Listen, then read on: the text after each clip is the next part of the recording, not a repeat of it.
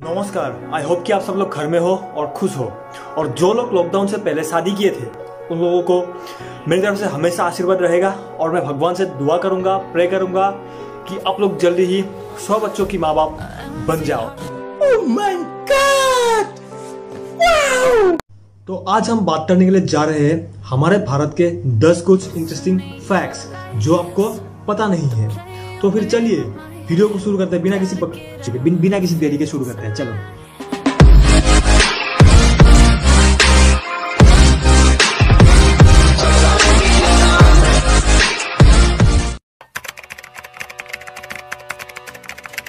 आपको क्या लगता है रविंद्रनाथ ठाकुर जी को हमारा भारत का जो नेशनल एंथम है उसके लिए सब क्रेडिट दिया जाता है?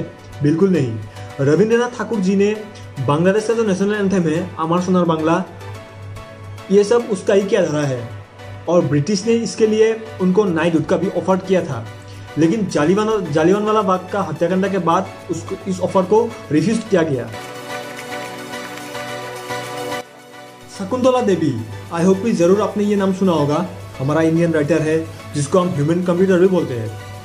उसने दो थर्टीन डिजिट नंबर को मल्टीप्लाई किया था। रैंडम नंबर लिया था, लेकिन थर्टीन डिजिट वाला था। दो, दोनों को, दोनों ही थर्टीन डिजिट वाला था, दोनों को मल्टीप्लाई किया और मल्टीप्लाई करने के बाद सही जवाब दिया।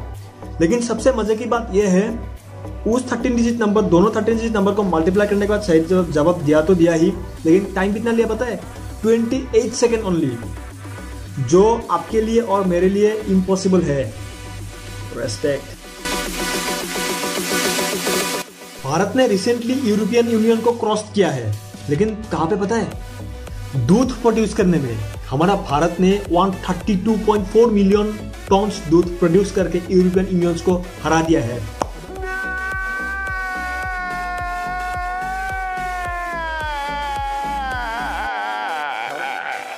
सुनने में अजीब लगता है, लेकिन यही सच है। इसीलिए तो इंटरेस्टिंग फैक्ट्स बोलते हैं, है कि नहीं?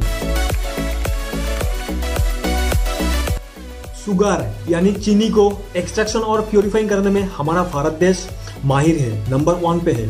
और बाहर देशों का लोग भी हमारा भारत से ये सीखते हैं कि चीनी को एक्सट्रैक्शन और प्योरीफाइंग करते कैसे है। ये मैं क्या सुन रहा भाई? सुनने में अजीब है, लेकिन यही सच है। भारत नंबर टू पे है इंग्लिश लैंग्वेज स्पीकिंग करने में। और नंबर वन पे है यूनाइटेड स्टेट्स अभी भारत नंबर टू पे क्यों है? आप लोग जज करो। जज करके कमेंट में बता दो, भारत नंबर टू पे क्यों है? कोई भी, कोई और भी हो सकता था ना? कि भारत से ज़्यादा तो इंग्लिश बाहर के देशों वाला बोलता है तो नंबर टू पे कोई और भी हो सकता था, लेकिन भारत नंबर टू पे है क्यों? जज करो और कमेंट डाल दो। अगर सही हुआ तो मैं पिन कर दूँगा उसको। ठीक है?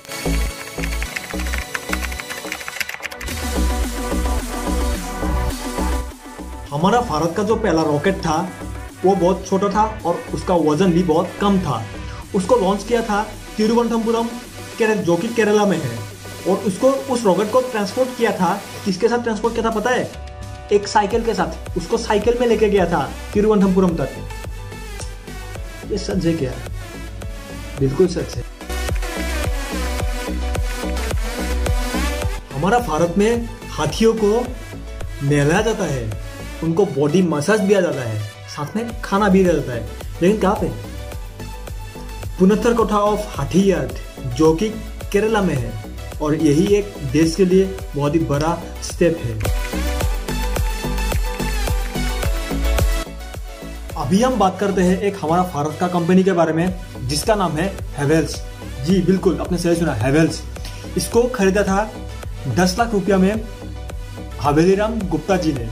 और इस कंपनी का, इस कंपनी को खरीदने से पहले इसका नाम छोटा मोटा था लेकिन हवेलीराम गुप्ता ने खरीदने के बाद इसका नाम रख दिया गया हेवेल्स और यही एक भारत का पहला कंपनी है जिसको खरीदने के बाद नाम रखा गया। पहले से नाम नहीं था। अभी हेवेल्स का ओनर हवेलीराम गुप्ता जी नहीं है। अभी है कीमत Rai Gupta. Snakes and ladders game जो है, वो ओरिजिनेटेड हुआ था हमारा भारत में। और इसको इन्वेंट किया था कुछ बच्चों को सिखाने के लिए अबाउट कर्मा। लेकिन बाद में ये गेम कॉमर्शियल हो गया और अभी ये हमारा पूरा वर्ल्ड में मोस्ट पॉपुलर गेम है बोर्ड गेम्स में। बोर्ड गेम्स में ये पूरा मोस्ट पॉपुलर गेम है। स्नेक्स एंड लीडर्स अभी रिलीजियस रीजन है या किसी का पर्सनल चॉइस है, पता नहीं है, लेकिन भारत में 20 टू 40 परसेंट लोग प्योर वेजिटेरियन है। और इसीलिए भारत को वेजिटेरियन फ्रेंडली देश कहा जाता है। तो यही था एक छोटा इन्फॉर्मेशन वाला वीडियो आप लोगों के लिए। तो वीडियो को लाइक करो शेयर करो कमेंट करो चैनल को सब्सक्राइब कर दो। तो हम लोग मिलेंगे फिर नेक्स्ट वीडियो में। तो आज के लिए इतना ही। चलो बाय बाय